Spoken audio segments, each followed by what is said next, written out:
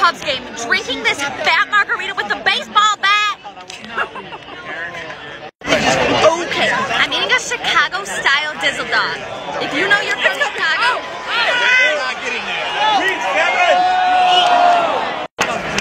Oh, oh. Kevin Will really wants the ball, so you gotta.